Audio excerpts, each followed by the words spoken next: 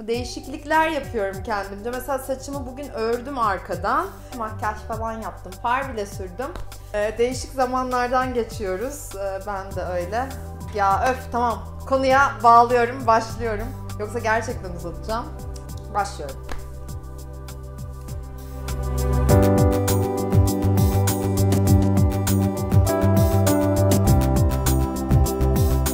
Bu hafta sizlerle biraz aile dizilimi üzerine konuşmak istiyorum. Öncelikle aslında aile diziliminin ne olduğundan ve neye yaradığından ve neden aslında bunu anlattığımdan size biraz bahsedeceğim.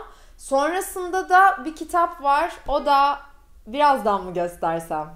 Ay dayanamayacağım. Yok. Şu kitap seninle başlamadı. Bu yani bu video aslında bir kitap önerisi ama tabii ki de bu kitaba gelmeden önce birazcık aile diziliminden genel hatlarıyla size anlatmam gerektiğini düşündüm. Çünkü belki de bu video vasıtasıyla aranızda ilk defa aile dizilimini duyan ve belki bu konu hakkında bilgi sahibi olabilecek arkadaşlarımız vardır. O yüzden öncelikle bir aile dizilimini size anlatmak istiyorum. Çünkü zaten genel hatlarıyla bu kitap birazdan bahsedeceğim aile dizilimi üzerine bir konu. Şimdi ilk önce aile dizilimi nedir? Aile dizilimi arkadaşlar ailede e, herhangi bir döngü, bir travma tekrarlanıyorsa bunu çözmek üzerine aslında bir e, psikoterapi belki denilebilir ama aslında psikoterapi de değil. Yani bu atalarımıza bakarak mesela bizde bir sıkıntı var. Atıyorum ölüm korkusu. Tamamen örnek vereceğim.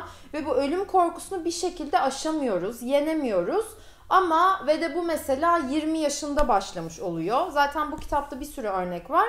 Ama bu korkuların üzerinden psikoterapiyle ne bileyim hani bir sürü psikologlarla yenemiyorsak Belki de sebebi mesela büyük annemizin ya da annemizin 20 yaşında yaşadığı bir travmadan kaynaklı olabilir. Yani bu ne demek oluyor? Annemiz, büyük annemiz ya da ailemizde herhangi biri, belki büyük babamız, belki dedemiz, anneannemiz, önemli değil kim olduğu. Ama bizim ailemizde birileri bir travma yaşıyor ve o travma orada çözülemiyorsa aile dizilimiyle bunu yine gün yüzüne çıkartıp bunun üzerinden aslında e, o korkunun içinden geçip yol alıyoruz diyebilirim size. Joseph Campbell'ın çok güzel bir e, sözü var. Girmekten korktuğunuz mağara aradığınız hazineyi barındırır diyor kendisi. Yani burada birazcık uzun anlatmış olabilirim ne, ne olduğunu bu aile diziliminin ama çok kısaca size şunu söyleyeyim. Çözemediğiniz belli başlı travmalar varsa ya da sürekli bir depresyon hali, hani sürekli bir böyle sıkıntı oluyorsa hayatınızda ve bunu değişik e, insanlara gidip belki danışmanlık seanslar alıp da çözemiyorsanız aile dizilimi burada faydalı olabilir. Çünkü gün yüzüne çıkmayan ve bastırılan sırlar ya da travmalar her zaman gün yüzüne çıkmayı bekler. Bu yani ben artık aile dizilimini e, aldıkça diyeyim daha da buna vakıf oldum açıkçası ve bu tabii ki de benim nacizane e, deneyimlerim, tecrübelerim olacak. Bunun da altını çiziyorum. Aile dizilimi bireysel de yapılıyor. Grup e, seansı olarak da yani grup çalışması olarak da yapılıyor. Ben açıkçası grup çalışmasını daha faydalı buluyorum. Ama tabii ki de bu size kalmış. Kimden alınmalı derseniz eğer Halise Baydar yok. Baydar mıydı? Halise Baydar hanımefendinin çok iyi olduğunu biliyorum. Kendisi zaten Alman kökenli. Yani galiba Almanya'da doğdu büyüdü mü ya da Almanya'da eğitim aldı öyle bir şey.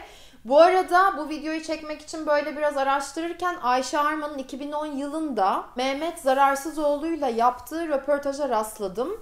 Bu Mehmet Zararsızoğlu kim bilmiyorum ama kendisi de aile dizilimi yapıyor ve konusuna bayağı vakıf biri gibi göründü bana ama kendisinden ben aile dizilimi almadım.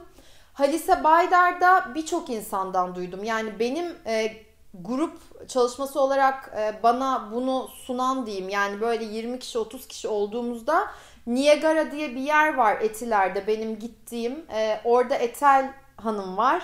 Soyadını unuttum valla gerçekten. Ben ondan aldım ama onun da hocası Halise Baydar. O yüzden çok biliyorum e, hanımefendinin adını. Bu arada aile dizilimini de kim buldu derseniz zaten Hellinger terapisi diye de geçiyor. 1925 yılında Almanya'da doğan Bert Hellinger buldu bunu. Yani bu terapi diyeyim ve 90'lı yıllarda ünlü oldu demek aslında doğru değil ama 90'lı yıllarda tanınmaya başladı. Bunun da en büyük sebebi yani biliyorsunuz ki o Hitler döneminde hani Yahudiler yakıldı işte Nazi soykırımı falan.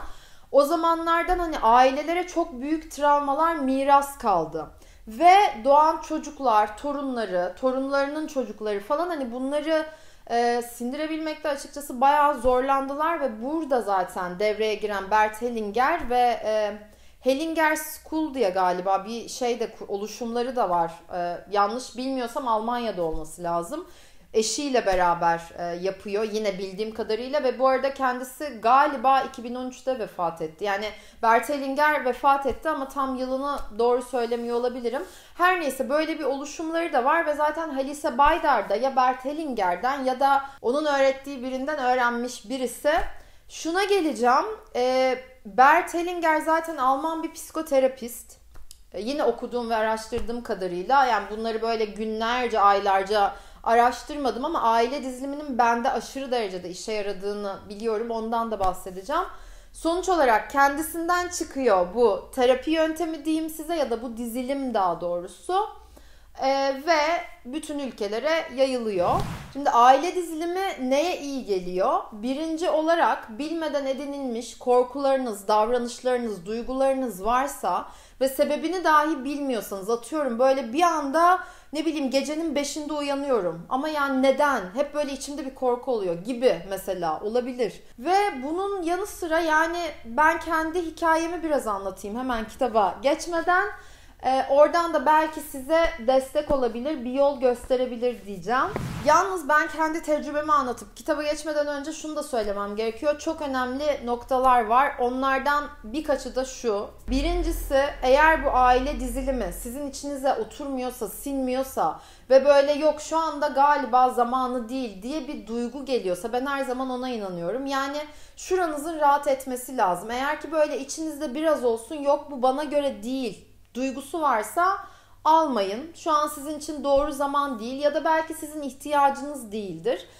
Aynı zamanda zaten e, aile dizilimi almadan önce bence bir psikologla ya da psikoterapiste gitmenizde, ondan bir danışmanlık almanızda fayda var diye Yine nacizane düşünüyorum. Son olarak da şu önemli. Hayatınızda hep aynı döngüler böyle çıkıyorsa karşınıza yine aile dizilimine dönmenizde ve bakmanızda bir fayda var diye düşünüyorum. Şimdi öncelikle bu yazarımız Mark Wallin e, en başta şundan bahsediyor. Kendisinin e, gözü sağ ya da sol gözü bir göz olması lazım kör oluyormuş. Yani böyle bir rahatsızlıktan dolayı sonuçta hani kör olmaya doğru gidiyormuş. Bir göz rahatsızlığı varmış.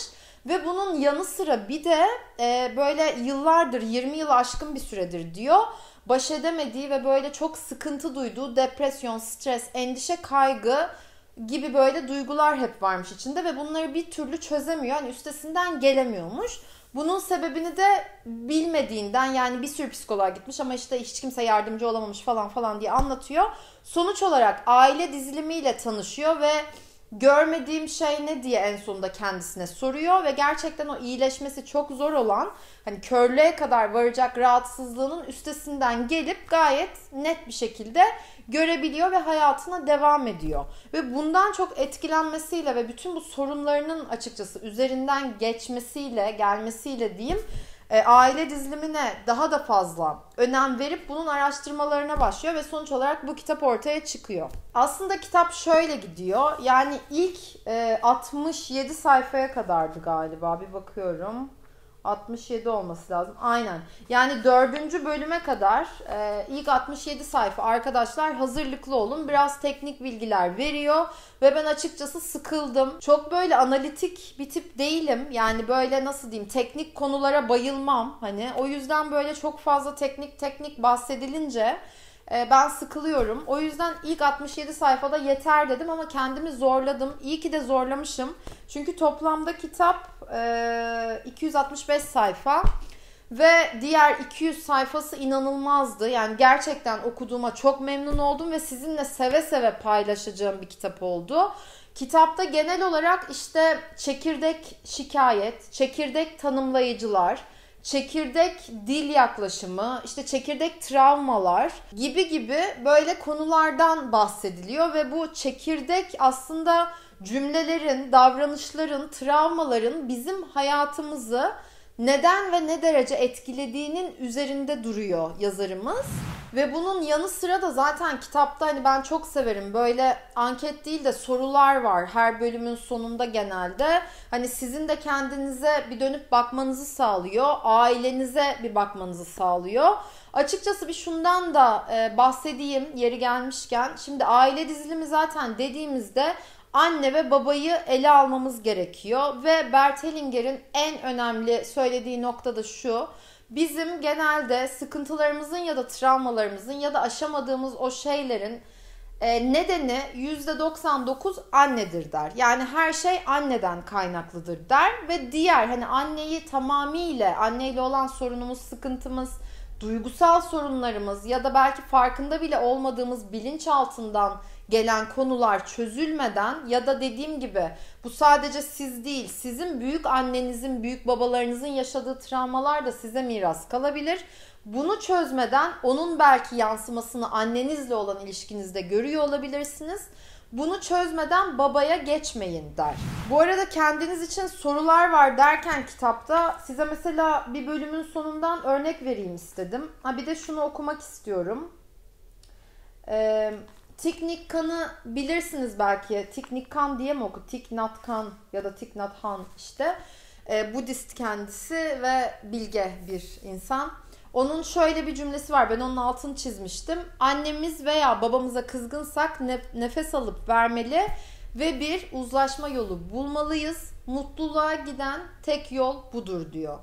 Yani aslında baktığınızda geçmişten gelen yani daha doğrusu geçmişte çok bilge olan birçok insan hep dönüp dolaşıp e, sizin çekirdek ailenize, çekirdek ailenizde yaşadığınız sorunlara, bu sorunların sizin hayatınızda nelere yol açtığına, ilişkilerinize nasıl yansıdığına bir bakmanızda fayda var. Bunun altını birçok insan çiziyor.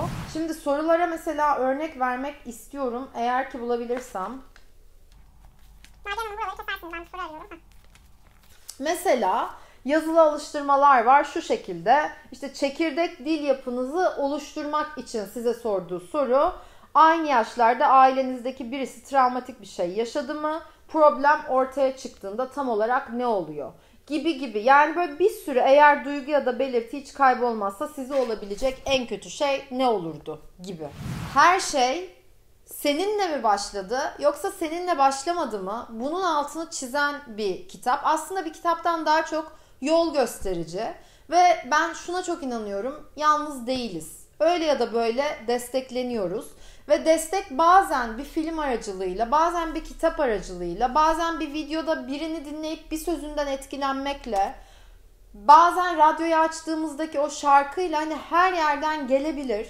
Dolayısıyla da eğer ki sizin zamanınız geldiyse ya da ihtiyacınız varsa diyeyim ya da bir şekilde bu video karşınıza çıktıysa ve benimle tanıştıysanız çok da memnun oldum bu arada. Tanıştıklarımla zaten gani gani çok mutluyum. İyi ki varsınız bu vesileyle.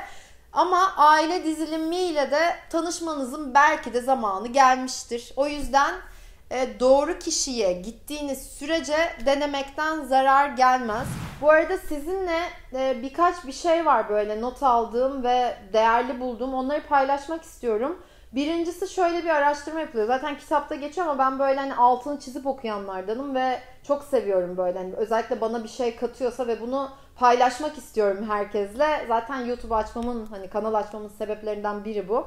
Şöyle bir şey var. John Hopkins Üniversitesi'nde bir araştırma yapılıyor ve 1100 öğrenci 50 yıl boyunca izleniyor arkadaşlar ve kanser oranlarının katılımcının ebeveynlerinin birine duyduğu uzaklık e, uzaklık derecesiyle yakından ilgili olduğu keşfediliyor. Yani bu ne demek? Aslında bizim ailemizle olan, yakınlarımızla olan ilişkilerimiz bizim sağlığımızı da çok e, olumlu ya da olumsuz anlamda etkiliyor. Böyle bir gücü var.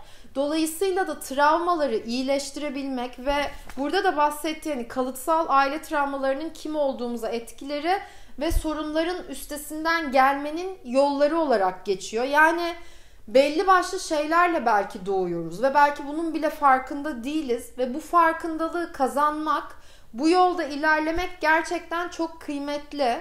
Benim tecrübe ettiğim aile dizilimiyle ilgili ne oldu bu arada? Ben ilk başta Perulu bir adama gitmiştim. Bir arkadaşım çok ısrar etmişti. Erik Lopez adını da veriyorum. Ee, Erik Bey'i Erik Bey bayağı sevmiştim aslında kendisini ama sonrasında şunu fark ettim. E, grup çalışması 60 kişi falan da 60-65 kişiydi. İki kere grup çalışmasına katıldım ve 2-3 kez de çünkü Peru'da yaşadığı için ve kısıtlı bir süre İstanbul'da olduğu için olabildiğince alayım dedim ve aile dizilimini ilk defa deneyimliyordum. Ee, yani grup çalışması arkadaşımın desteğiyle böyle aa çok değişik falan gibi gelmişti ama sonrasında düşündüğümde aslında bir yarar sağlamadı. Hani değişik olan şeylere ilgimin olması çekti beni. Ama bir yarar sağlamadığını sonradan anladım. Bireysel seanslarda da şunu fark ettim. Ee, çok pahalıydı bence. Ve arkadaşlar zaten şuna çok uyanık olun. Gerçekten bu konu aşırı derecede önemli. Yani bu devirde diyeyim birçok şeyin ticareti yapılıyor ve sizin duygularınızla bütün yani o e, kalbinizdeki şeylerle alıp onlarla oynayıp onu böyle bir ticarete dönüştürebilen bir tayfa olabilir. Yani şöyle diyeyim size biriyle tanıştığınızda ve bir seans aldığınızda içinize sinmiyorsa ya da böyle bir şeyler yok ya yerine oturmadı dediğinizde bir daha bence o kişiye gitmeyin. Çünkü güvenin o duygularınıza. Ben o zamanlarda böyle çok değişik aa falan diye gitmiştim. Ama sonrasında anladım ki bayağı bir kazıklanmışım aslında. O yüzden o ilk deneyimimi saymıyorum ve bu sebeple de aile diziliminden uzak durdum birkaç sene. Sonra isim vermeyeyim e, Türkiye'den e, birinin workshopuna katıldım diyeyim. O yine fena geçmedi ama çok böyle bana hitap etmedi diyeyim. O yüzden hani orada da böyle çok ısınmadım. Ama sonrasında bu Niagara diye bir e, yer var diyeyim. Yani burası böyle bir workshop yeri diyeyim size. Ee, ve orada Etel'le tanıştıktan sonra Etel'in grup e, bir yani grup çalışmasına katıldıktan sonra aile diziliminin gerçekten ne olduğunu gördüm ve bana kalırsa maksimum 30 kişiyle yapılması çok fayda sağlıyor. Bu arada aile dizilimine katılabilirsiniz ama illa siz orada e, bir rol üstlenmek zorunda değilsiniz. Bu arada en başta söylemem gereken şeyi en sonda söyleyebiliyorum. Çünkü ben ters doğmuşum bu arada yani ve bundan dolayı böyle biraz tuhaflıklar olabiliyor. Bir de kova burcuyla da alakalı. Şuna değineceğim. Aile diziliminde bir rol yani mesela 30 kişi varız ve Etel Hanım'dan yola çıkalım. Etel birini seçiyor. Orada işte kim bahsetmek ister diyor. Atıyorum 10 kişi kaldırıyor elini. O birini seçiyor. O birini seçtiği zaman da genelde yanına oturtturuyor. Biraz dinliyor. Sonrasında herkes bir rol üstleniyor. Bunu işte diyor ki mesela baba seç kendine, anne seç kendine, işte gerekirse abla seç kendine, neyse ne. İşte ya da bazen size söylemeyebilir ama sen kalk diyor. Belki o içinden geçiriyor. Kişiden kişiye göre nasıl yaptırdığı bu aile dizilimini değişir. Ama önemli olan nokta siz orada aslında hani bunu bir tiyatro olarak görmeyin. Çünkü orada bir alana giriyorsunuz. Evet o alanda enerjisel olarak o kişi mesela anneniz rolünü üstleniyorsa gerçekten onu hissediyorsunuz ve annenize belki o anda söylemek istediklerinizi söylüyorsunuz. Ya da atıyorum teyzenizi oynuyor ya da ne bileyim annenizin kaybettiği çocuk. Onun söylemek istedikleri var yarım kalmış. Onlar gün yüzüne çıkıyor ve aslında herkes bu alanda paylaşımlarda bulunuyor. Bazen sesli, bazen sessiz, bazen davranışla. Yani değişik bir ortam. Denemeniz gerekiyor ama bunlar böyle enerji yoluyla aslında biraz da oluyor. Ve bazı pozisyonlar alıyorsunuz. Yani atıyorum mesela şöyle duruyorsunuz ve neden öyle durduğunuzu bilmiyorsunuz ya da bir duygu geliyor. Zaten bir duygu gelmeden ya da bir dürtü gelmeden hareket etmiyorsunuz. Çünkü burada aslında akılla ya da böyle bilinçle değil, tam tersi bilinç yani bilinçli bir bilinçsizlikle belki de bir yerde hareket ediliyor. O alana girdiğinizde oluşan neyse içinizde ve tüm benliğinizde onunla yapıyorsunuz. Bu sebeple de birçok şey gün yüzüne çıkıyor. Sizin bile belki hiç fark etmediğiniz bir sürü şey O yüzden şimdilik diyeceklerim bu kadar. Çok dallı budaklı bir konu ve inanamıyorum Lucy geldi. Gel kızım. Lucy ile kapanış yapacağım hiç aklıma gelmezdi. Ben de seni çok seviyorum. Bence beni seviyor. Lucy ilk defa geldi. Bu videoyu beğendiyseniz beğenmeyi unutmayın. Abone olsunlar mı Lucy? Ha? Abone değilseniz de abone olursanız gerçekten beni çok memnun edersiniz. Bir de beni memnun etmenin yanı sıra desteğinizi görmüş olurum ve de gerçekten bu videoların size bir yarar sağladığını, size dokunduğunu ve belki sizin de hoşlandığınızı görmeme çok yardımcı oluyor. O yüzden lütfen abone değilseniz abone olup o zili de açarsanız her cuma genelde 6'da video yayınlıyorum. Haberiniz olur. İyi ki varsınız. Çok seviyorum. Sevgiyle ve sağlıkla kalın. Bambaşka bir videoda görüşmek üzere. Hoşçakalın. Yine daha da heyecanlanabilirim. Heyecan güzel bir şey de panik olmadığı sürece. Neyse çok rahat hissediyorum işte. Yolu Allah mikrofon. Yapacağız, anlatacağız. Bu da çok saçma. Başka. Evet. Bambaşka bir videoda görüşmek üzere. Hoşçakalın. Çok komik oldu bu da ya.